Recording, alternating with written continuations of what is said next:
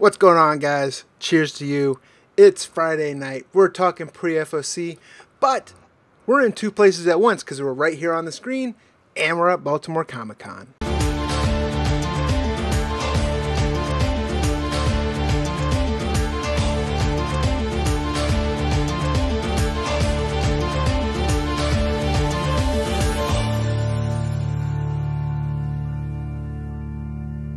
What's going on, guys, and welcome to the Last Call Show, where we are talking books that are hitting final order cutoff this coming Monday night at 10 p.m. We aren't going to talk about all the books. We, as always, will give our 10 picks that we like. If you want to see that full list, you can go to simplemanscomics.com. I have the full list up over there. But let me introduce my co-host, Jack Tomeo, aka Mr. Bolo. What's going on, Simpleman's Comics family? We talk about this every week. This is my favorite show of the week, not only because we get to sit back and drink these adult Kool-Aids, but we get to take a look ahead at the FOC list, that final order cutoff list, and take a look at some books that hit the spectrum of comic book collecting. We're talking about collector books, we're talking about great reads, and we're talking about those possible future spec plays and giving you, the viewer, the opportunity to get in on this early save a little bit of money, lock in your copies with your LCS, and do your LCS a favor and let them be able to predict the demand for upcoming releases. Right. So, as I said at the beginning of this show, we are going to talk about 10 books that we like. But before we get into that, do us a favor and smash that like button for us. And if this is your first time on this channel, please consider subscribing. And the first book we're going to talk about in tonight's show actually is from a publisher that doesn't participate in FOC with Diamond, but it is an important book that we think you should be aware of. And we're talking about RV9 number one, which comes from Mad Cave Studios. Absolutely. And I think, Brian, again, this is the beauty of this show this is a, a publisher you say that doesn't participate but really doesn't get to participate. Most publishers want to be a part of foc they want to be alerting retailers of when those order cutoff dates are because even publishers that are not participating in foc they basically still have the same order windows as ones that are. And really foc is just an alerting system to let LCSs know that this is the time to order. Mad Cave Studios not participating is part of the reason why those Mad Cave print runs are so low. This book, RV9, is a book that has some buzz behind it. But this is the type of book that comes out, does well, and then the next thing you know, you cannot find it at your LCS. So that's the beauty of this show. If you're not familiar with this book, the solicitation goes a little bit like this that former assassin Velveteen is on the run from the Order of the Nine the organization that took her from her family and forced her into a life where all she knows is secrecy, violence, and death. Now, after years of running, she is bringing the fight to them with the help from her American hacker, uh, from an American hacker Jasper, a rookie officer with an attitude, Inspector Pazzi. Velveteen will use everything she has been taught by the Order of the Nine against them. This sounds awesome, kind of a Blade Runner, kind of futuristic feel to it. Uh, female driven, and we know what some of those female covers have been able to do. Um, Mad Cave Studios, one thing I like about them is they bring a little bit of everything to the table. They've got kind of a, a book for every reader, um, but their print runs tend to be extremely extremely micro print runs. I'm talking about 2,000 copies or less. That does not leave a lot on the market. These, this is the reason for this show is we can highlight great books like this uh, from a great publisher who we feel con- confident you know will deliver for readers. But if you don't let your LCS know right now that you want this book, you may get left in the cold on it. Right. Big urban areas, they carry a lot of indie publishers, but some of the smaller areas, the smaller markets, that's the reason why we have these type title on the show. So if this is something you're interested in, make sure you let your local comic book store know that way they can get those ordered and secure your copies.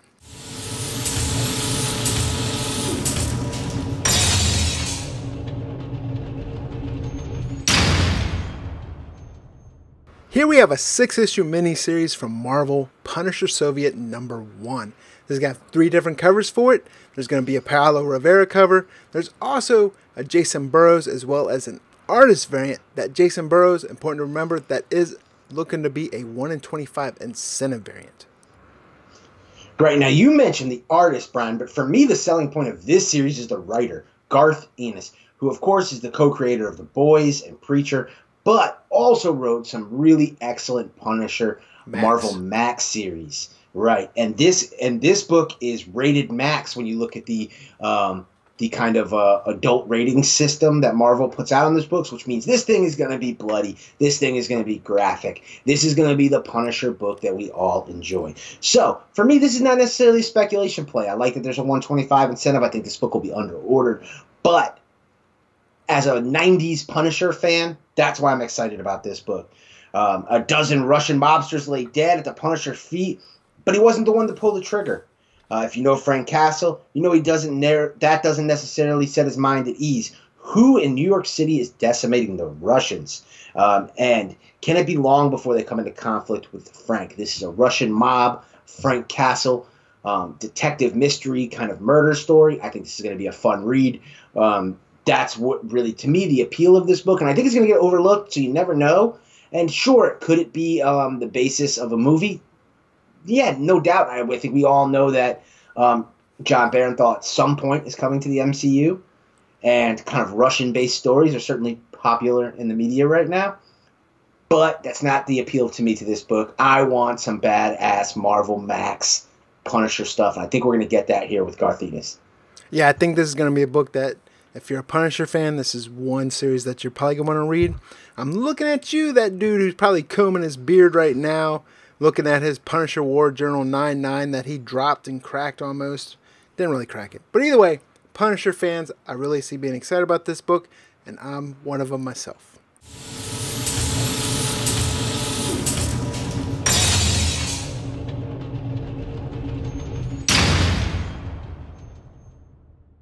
Here we have a book that's no stranger to this channel. We've had the creators on here with an interview before. FOC of issue number one now the series is wrapping up with issue number six, but not for good because we got news that there's a one shot and another miniseries coming up. But we're talking about Canto number six. David Booher, Drew Zucker on art. It's gonna have the regular cover, but it's got a fire one in ten incentive variant, in my opinion. Yeah, I totally agree. And while this series has kind of died down a bit on the secondary market prices, I think that's just a spec cycle, right? People have moved on to other things. Um, we're deep into this series. From a reader perspective, I'm very interested to see where this story ends. Um, I've been hooked the entire time. I love the incentives. To me, the fact that it's died down is good because again, we know that it's coming back. We know that it did so well. There were so many late printing store exclusives produced for number one. Retailers got on board. I think the second volume is going to do well. I think the one shot is going to do well. I think they're headed towards seven seasons in a movie, Brian. At some point, um, I think that's I think that's where this is going. And if you don't know what I'm saying, that's a reference to a David Booher quote from our interview with these guys, um, the creators of Kanto, not Kanto, right here on Simpleman's Comics YouTube channel. Definitely check that video out if you have not seen it. But um, Brad and I were just talking before we got on the mic that you know really there's just buying opportunities right now with Canto. Um, or can't see now I did it. See can with Kanto. Um, see what you guys do to me. Um, but yeah, there's just buying opportunities right now because the book has dropped down. Um, and I think that this is why we do it on the pre FOC show because now you have the opportunity to make sure you let your LCS know because this being the last issue and stores hate getting stuck with last issues and maybe like the lack of success four and five had on the secondary market, I could see LCS is fading back from those orders. So do not take this one for granted. Do not assume you're going to be able to get it. Make sure you put those orders in pre FOC. Yeah, so shout out to David Booher and Drew. Yeah, so shout out to Dave Booher and Drew Zucker. I also, as at the beginning, at the opening, before the intro, we mentioned we were at Baltimore Comic Con. I want to give a shout out also, Baltimore Comic Con and the Comic Core. If you guys haven't checked out the Comic Core on YouTube, make sure you check out their channel. Great group of people, always have a bunch of great content. And we are hanging out with them, I'm sure, right now at Baltimore. They have a booth there, so we're going to stop by and talk to them. But let's move into the next pick.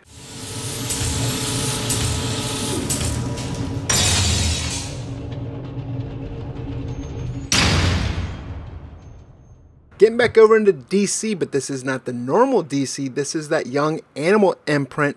And we're talking about Far Sector number one. This is going to have three different covers. You have that regular cover, there's a Martin Martinborough variant, as well as a McKelvey variant. I usually like the A cover on here, but I'm a big fan of McKelvey's art, so I'll probably pick up that as well. But tell us more about this book, Jack. Well, Brian, this one's real interesting. Honestly, this is a bit of a spec play. And we say that because it appears that there's going to be a first appearance of a new Green Lantern character.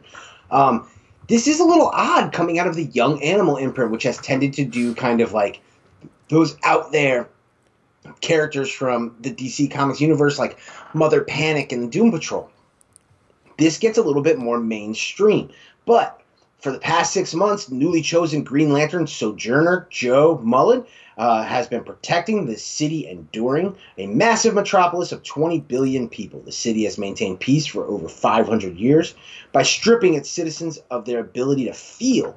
And as a result, violent crime is virtually unheard of, and murder is non existent. But that's all about to change in this new maxi series that gives DC Young Animal a spin to the legacy of the Green Lanterns.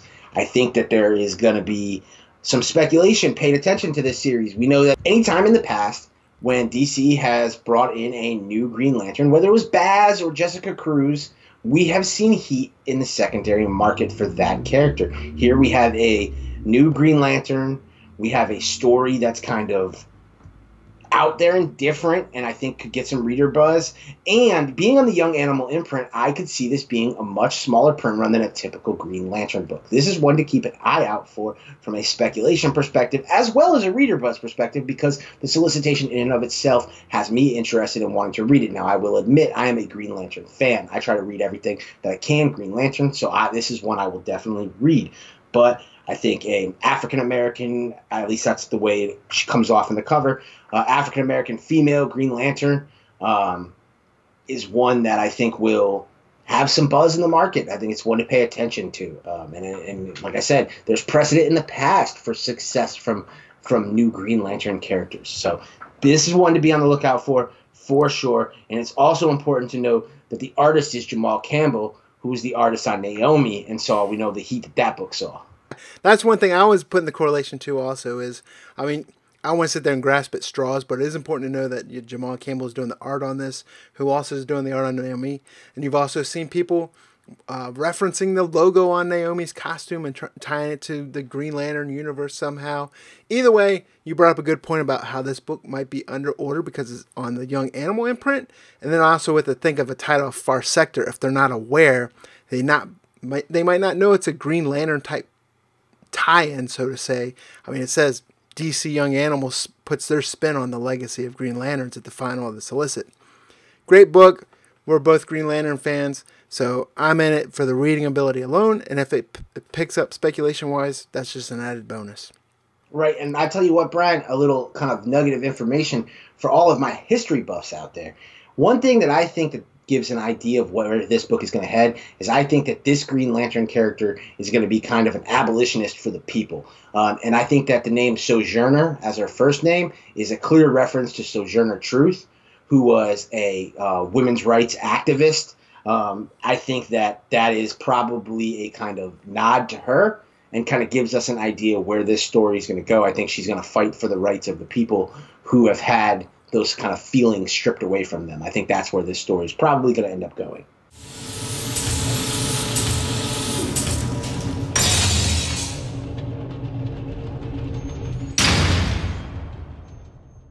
Kicking on over to Image Comics, we get Family Tree number one. This is from awesome, awesome author Jeff Lemire, as well as it's got just the one cover for it, and that's by Phil Hester.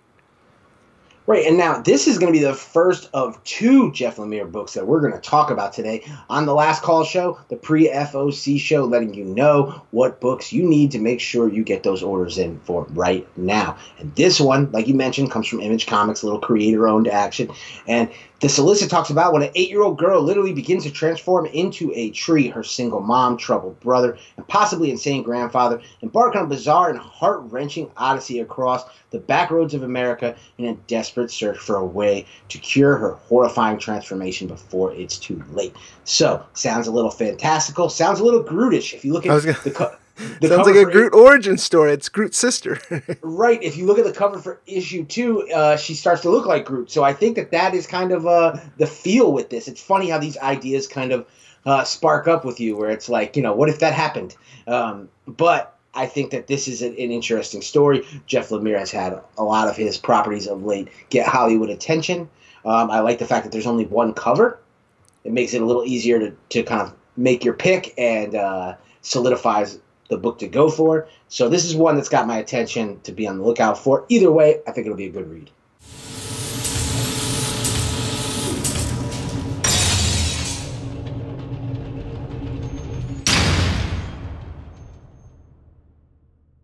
Here we have another DC Black Label book in the Dollhouse family number one. This is going to have a regular cover as well as a Jay Anacleto cardstock variant. Yeah, and we don't know yet what the popularity of these Joe Hill Hill House books is going to be. We talked about one last week. We're coming with another one this week. But I'm excited. We've talked about horrors hot. This book really sounds like a horror movie if I've ever heard it. Uh, a 19th century dollhouse family heirloom serves as an escape for a little girl named Alice. Literally. She can go inside, and reality and the imaginary start to blend together. As she grows older, Alice, realize, Alice realizes her dollhouse has taken control of her life. Uh, these covers look creepy. This story sounds interesting. This premise sounds like a movie. Um, we know that children and horror kind of go hand in hand.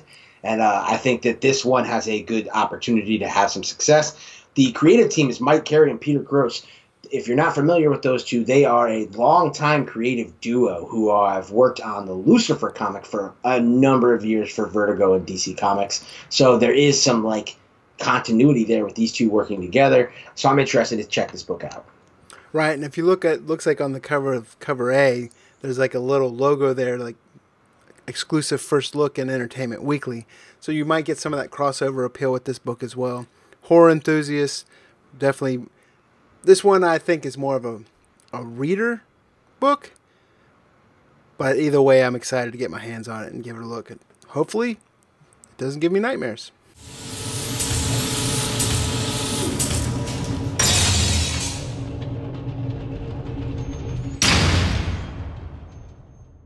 Sticking with horror, but moving over to Marvel, we have Morbius number one. Right now, this looks to have four covers. You have the regular cover, there's also a cover B, as well as a connecting variant, but there's also a 1 in 25 incentive Greg Land variant. Right, Morbius the living vampire. Or is he? That's what this solicit of this new ongoing series talks about. For years, Nobel Prize winning biologist Michael Morbius has been struggling to cure himself of vampirism. And now, for the first time in years, that result may be within his grasp, but it is littered with dangers and more. So we know in this series that he's going to be trying to get rid of that vampirism. We may see a change in kind of the Morbius character a little bit, but either way, we know why this series is coming to be, Brian, don't we? Yeah, everyone's hyped on that Jared Leto Morbius movie coming out.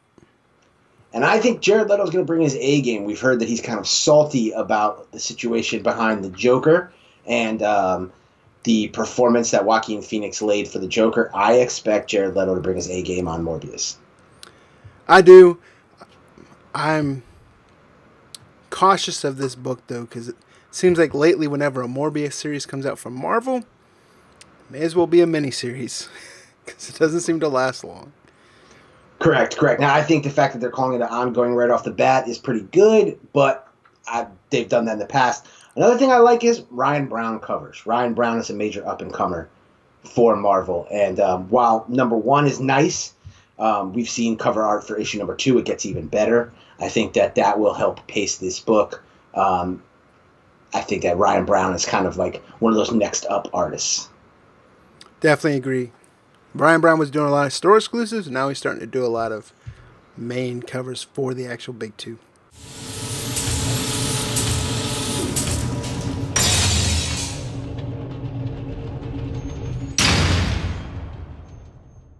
Moving back over to DC, we get The Question, The Deaths of Vic Sage number one. We talked about another Jeff Lemire book, and this is it. But not only that, but that cover A has a kick ass cover by Bill Sienkiewicz. Absolutely. Now, The Question is one of those cult classic fan uh, favorites who uh, maybe has never really peaked in the secondary market, but always seems to get a lot of um, kind of old school fan attention. And I love the fact that this book is being released under DC Black Label. That kind of gives you an idea of the kind of feel and the target audience for this book. And that gets me more excited than anything else. This is obviously, like we said, this is the second book of Jeff Lemire's that we're talking about here. Um, Vic Sage, you know, is a kind of uh, classic the version of the question. There's multiple characters who have been the question, um, but this is going to track kind of his experience through history. Um, it, and I think that this is one that is going to maybe get overlooked by people. We've seen that these black label books don't necessarily do immediate secondary market success, but have all registered as amazing reads. I think the fact that this is Black Label, the fact that this is going to be a classic Vic Sage and the Question story, and the fact that Jeff Lemire is writing this, I think this is going to be a good book, and I think it's going to be a book that long term could have some some some spec play with the fact that it's it's not going to be a heavily ordered book. Either way, like you mentioned, excellent Bill Sienkiewicz cover, excellent writer. It's a recipe for some serious reader buzz. Right, and as I mentioned before, I'm more of a fan of Jeff Lemire as the author he does have a cover B variant for this book.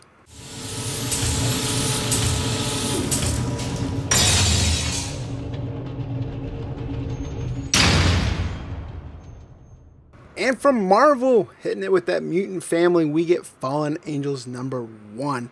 This has a bunch of different covers from a bunch of great artists. We got Ashley Witter, we got Greg Land, we got Mark Bagley, there's Rob Liefeld, we all know some news that came out with Rob Liefeld Marvel, but there's also a Gabriel Dell'Otto and a Pepe Larraz variant. So right, we've talked about this with these um these X books, and, the, and they're kind of going to be the test of did this House of X Powers of X thing work? In my opinion, we're seeing too many X books. There's just too many of these for them all to be able to sustain. Now, I will say the fact that this is an X23 driven book does bode well for it. We know X23 usually finds success on the secondary market. But let us know, Simpleman's Comics family, how do you feel about the amount of X books that are existing on the market? In my opinion, too many. Too many at once, especially. I think it's going to hurt all of them across the board. But maybe I'm being negative. We'll see. Let us know. Yeah, too many X chromosomes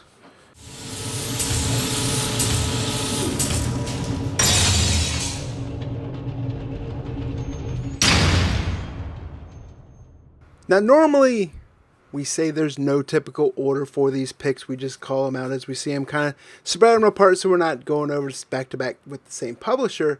But I can say without a doubt, this pick is my top pick for FOC this week. And we're talking about Folklords number one from Boom Studios, which you're aware of that already from that awesome graphic. I mean, either way, great book. We had an advanced PDF copy. Can't say enough good things about it. We've talked about this book on other shows already a little bit, but it's going to have four different covers for it. You have that cover A. The cover B is fire, but there's also an FOC Dan Mora variant. But more importantly, there's an FOC 1 in 25 black and white Dan Mora variant. Yeah, now if you rewind back to when I, I was talking Something is Killing the Children on the uh, Bolo show, and I was bragging about the success of that book and how we told you guys early. I stopped and said, I got one more for you Folklords, Folklords, Folklords. And that was way early in the game. And now is the time. Now is the time for you to make that decision whether you're in or out. Now, we know and have experienced the hype of these last two boom books that found serious success in the secondary market. We saw what happened. Will there be excess copies available of cover A? Yes. And that is because this is part of that boom guarantee program, meaning retailers can order these books and return them. But the thing about that is, unlike Once and Future, we have some variants for this book, Brian. We have a cover B, which I think since this solicitation came out, it was the book to grab. Absolutely amazing. Most of the art on Folklords is very kind of um, cartoony almost. It's it's a kind of a Harry Potter type uh, story, kind of a almost like a quest book. Um, you called it Harry Potter meets the Village, um, which I no. think Dungeons and Dragons. Cartoon. Dungeons and Dragons. Yes, I'm not a Harry Potter guy. That's why I just said it to you. Like okay. Boom calls it a Harry Potter type story, but yes, you did call it Dungeons and Dragons meets the Village, and if you read the book, you'll understand the Village reference. But I've read the book. I absolutely think it's stellar. I think it's a great book. I've said this before. I'm not a fantasy guy. I have never seen a Harry Potter movie. Um, when this book was like presented to me, it wasn't something that I really thought was gonna be something I was gonna get behind. Um, I honestly put off maybe paying attention to it for a while, and then Brian read it and was like, "This book is awesome." And I read it and was like, "Holy crap, this book is awesome!" That cover B got announced, and I said, "Man, that is a cover." Because honestly, I like Matt Smith. I didn't love that cover A from a speculation perspective. Um, I I loved that cover B, but stop the presses because we're at the FOC show, right? They announced an FOC variant, that Dan Mora variant. That Dan Mora variant looks like everything we love about Once and Future in those covers. Um, Dan Mora is the Power Ranger artist, and now he's bringing that that game to these creator-owned books. I mentioned to Brian before we went on air. I love Matt Kindt. I he was somebody that I connected with. People know that I like Valiant comics. Um, he was the writer that I paid attention to first. What he does, his descriptive nature of writing, really makes you kind of understand the world you're in right off the bat. I think that's what will make him successful with this book. Also, his other Boom Studios book, Grass Kings, just got announced for a television option today. We're filming this on Wednesday. So he's already got that hot Hollywood hand. I think Folklords is one of those books that could be that next big thing. That Dan Mora FOC variant is amazing, excellent, features all the characters, great color. I like the black background. But that's not all. They announced an FOC incentive variant, something you don't see from Boom with their creator owned titles. A 1 in 25 black and white version of that Dan Mora variant. I think that thing could see heat. And it only incentivizes stores to order more. So when you guys get mad and say that the print runs got jacked up, understand that those are factors that have a lot to do with why stores will order more. But this book is delivering. I think it's going to deliver on on expectations. Bleeding Cool ran an article six days ago, six days ago, talking in their speculation corner about the fact that cover A was selling for eight dollars on eBay already. That co- that cover A and cover B together in a lot were selling for fifteen. That is way before FOC and kind of unheard of in the speculation market. This book has all the makings of an indie buzz book. I think you are going to hear about this book over the next month leading up to its release. I, I think, yes, you will be able to find cover A on, on, release day. Will you be able to find cover B and cover C? I don't know. Will you be able to get your hands on that incentive without paying through the nose? Because you know that unless you have a great relationship with your LCS, that if that incentive takes off on the secondary market between now and release day, 23 days from FOC, that dealers aren't going to let that book go cheap. They're going to hit market value. But that's the beauty of this show. If you want that incentive, let your LCS know right now that you want it. Let them know. The beauty is they can spread their orders amongst three covers. So they have that ability to kind of hedge their bet. That is why I love this show. I love that we get to talk about these books. We want to let you guys know this is a book we believe in. This is a book we've read. This is a book we've had the opportunity to see this organic growth happening. And I say organic because it's not manufactured. There's nobody doing this. This is being talked about widespread. I've saw two posts just in the last few days from major comic retailers talking about reading the Folklords PDF that Brian and I got an opportunity to look at and being like, wow, I have to talk about this. Black Cape Comics talked about it on Instagram and Big Bang Comics talked about it on Twitter. Now, if you're not familiar with Big Bang Comics, it's a giant European retailer in Ireland who has a monster social media presence. So there is a ton of pre FOC talk about this book, but I don't think it's going to matter. And I don't think you should let that sway you from getting in on this book now. So that is going to wrap up our 10 picks for this week. But as always, Jack is going to tell us what additional printings are coming out this FOC as well. So this week, with the later printings, it's all about Marvel Comics. And it's a very short list. We start off with Amazing Spider Man 31, the second print Ryan Ottley variant. Then we've got House of X number one and Powers of X number one, coming with fifth printing Mark Brooks variants. Staying with that X theme, we've got House of X number four, the third printing from Declan Shalvey, and House of X number six with that Larraz variant, second printing. And finally, we've got Spider Verse number one, the second printing variant. So there it is. Those are the later printings. And again, if you want to see the full FOC list, head over to simplemanscomics.com. We got the full FOC as far as comic books, trading cards, toys, everything that Diamond is offering is found at Final Order Cutoff this coming Monday night at 10 p.m. Eastern. And again, let us know in the comments are any of these books something that you're interested in? Which one out of all of these are you most excited to order? Because we're always excited to see what you, the viewer, are interested in reading and picking up and ordering as well. And with that being said, I'm Brian Wood. And I'm Jack DeMeo, aka Mr. Bolo. Remember, buy what you like. That way you'll always be happy with your collection. And this has been Last Call.